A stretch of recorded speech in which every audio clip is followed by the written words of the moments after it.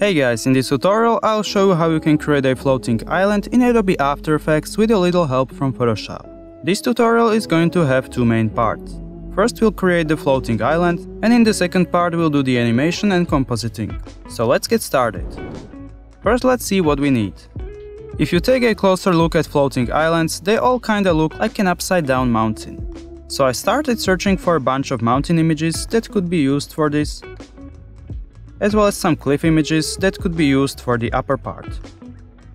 Then we also need the background shot or environment where we want to place the floating island.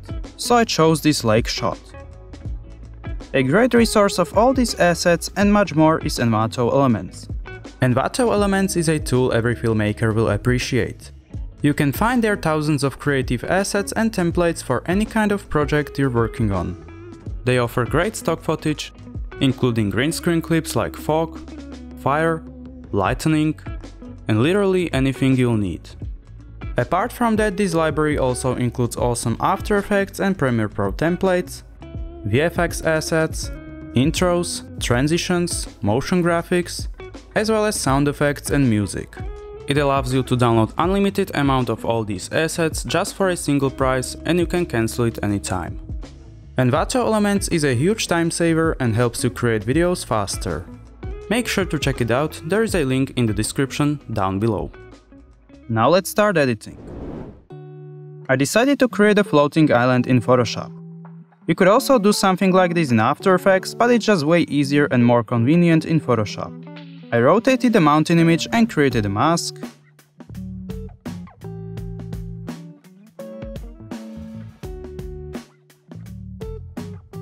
Then I use the puppet warp to slightly change the shape of the mountain.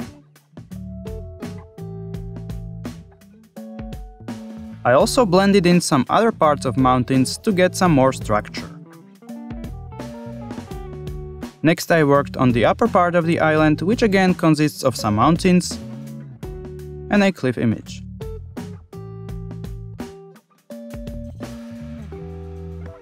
Finally I added in some plants and this tiny house.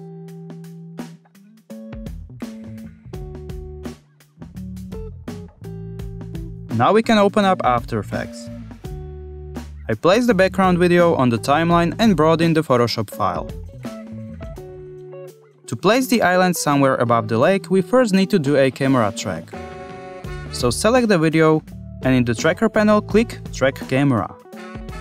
Let After Effects do its business then choose a track point and create a solid and camera. Next make the floating island layer 3D. Now we can copy the position of the track solid and paste it onto the floating island. Then adjust the scale. If you see some problems, you can also manually animate the position. I also used a null object for additional adjustments, but you don't need to do that. As our next step, let's create a reflection in the water.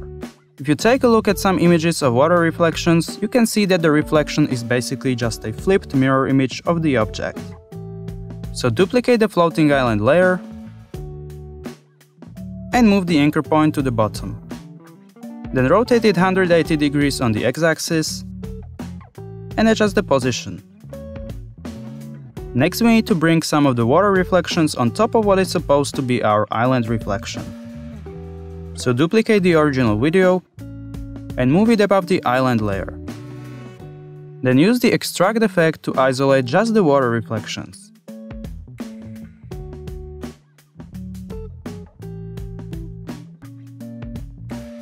You might also need to create a mask.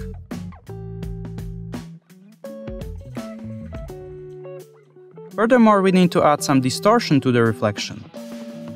For this, I'm going to use the displacement map effect. But first we need to create a displacement map.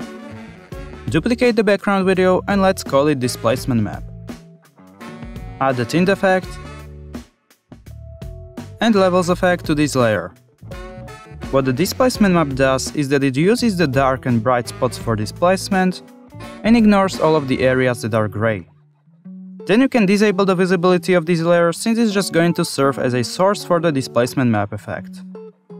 But before we apply the effect to the reflection layer, we need to pre-compose it because this effect depends on the layer size. Also duplicate the camera and pre-compose it together with the reflection layer to avoid scaling issues. Now you can see that the size of these layers is matched. Next apply the displacement map effect to the reflection layer, choose the displacement map layer, and for the displacement select luminance and then you can play around with these values. Maybe even duplicate the effect. Additionally, you can use the curves effect to adjust the brightness and reduce the opacity.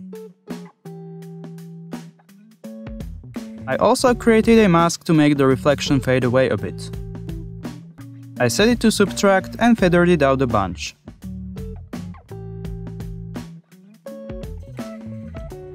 And now we have a cool reflection in the water. Now let's make the floating island blend a bit better with the environment. First I added a bit of noise. Then I duplicated the background video and moved it to the top of the timeline. We'll use this as a color blend. Let's decrease the opacity and set the blending modes to overlay. So we get this but we want only the island to be affected by this color blend layer. To achieve this, search for the Set Matte effect and apply it to the color blend layer. However, before we can use the island as our matte, we need to pre-compose it. Again with the camera. Now in the Set Matte effect, select the island pre-comp.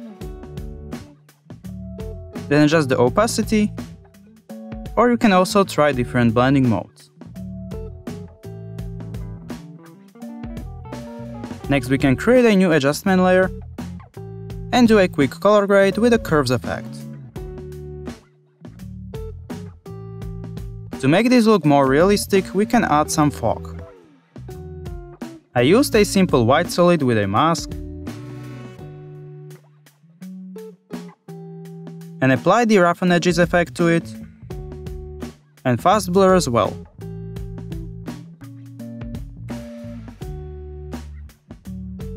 To get some movement, I simply animated the evolution using a simple expression. Hold Alt and click the stopwatch icon. Then type in time times, let's say, 80. Then just turn it into a 3D layer. And again, you can use the position of the track solid. Next, play around with the opacity and create some duplications. I also added in some cloud images.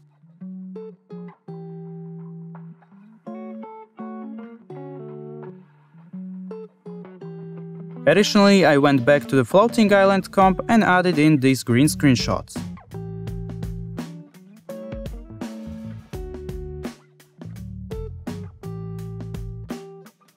As a final touch, I put these birds in the sky flying above the floating island.